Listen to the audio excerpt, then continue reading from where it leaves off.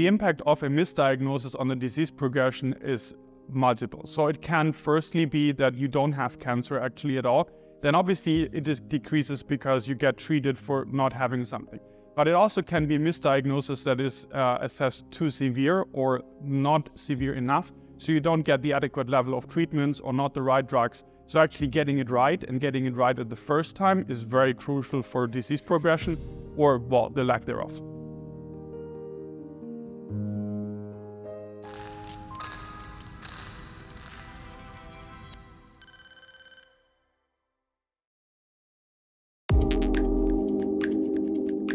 Before we started this company, my husband and I met a patient called Linda. And Linda was diagnosed with a very aggressive breast cancer and she went through surgery and chemotherapy and everything. However, the horrible part is that after surgery, it turned out that her sample was mixed up in the laboratory with another patient's, and she never had cancer. And this triggered the passion of myself and my husband so much to look deeper into this process and come up with the idea of what's now in Veox. So the innovation on medical technology uh, when diagnosing tumor is very fold. The standard as today is pretty much the same as 100 years before. You take a sample, you dissect it, then you stain it, and then a pathologist looks at it under the microscope, exactly like 100 years ago. There's more technology, there is better instruments, but the underlying principles are still the same.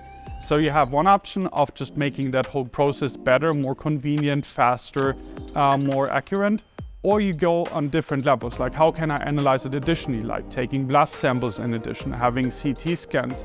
So just enhancing the data points that you have when making the diagnostic decision.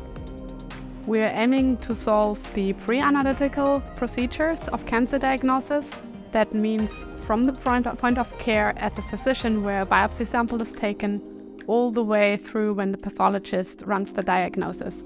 And because the procedures are still done very manually and paper based, there's a high potential for errors such as a slip of paper um, or losing the samples that we would like to prevent. And at the same time, we would like to collect a lot of data to, to get to a whole new level of cancer diagnosis. We at Inveox, we are using AI for the imaging analytics of biopsies, which are biopsies which come directly in containers into the pathology lab. We're using it to determine in the skins and in the material if we can find cancer or not cancer. We also determine the size and the number of biopsies which are in the container, which is very much been used in the workflow later in the pathology lab we are going forward in AI to try to determine already that we have maybe biopsies which have no cancer cells been inside, which would mean we have a much faster diagnosis to the customer and we would save a lot of time and efforts in the labs. Now, the hope of digitizing pathology, for example, is that we become much faster, more efficient, and I think this is also something that is highly needed there is a bit of hesitation among a, few pathologists to really adapt to this new world, making use of artificial intelligence, machine learning.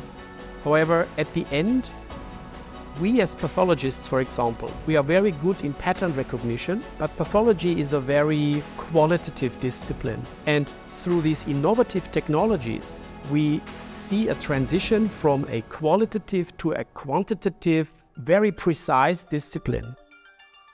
So we believe that the future of tissue processing um, will be on an automated platform that handles the sample preparation for the diagnosis and at the same time supports the lab staff and the pathologist to collect all necessary data that we need for the diagnosis. That starts with the clinical data about where the sample was taken, ends with how the sample looks like during the procedures of the laboratory, but also kind of image analysis, um, how the sample looks like when it was treated and how it comes together with the cell images later on um, at the microscopic picture.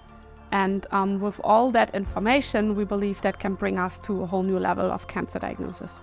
Healthcare will be one of the core industries for a stable and prosperous society. And founders and their startups will play a critical role to come up with new innovations and use all this potential we have with new technology like digitalization. The biggest success factor is to have a great team.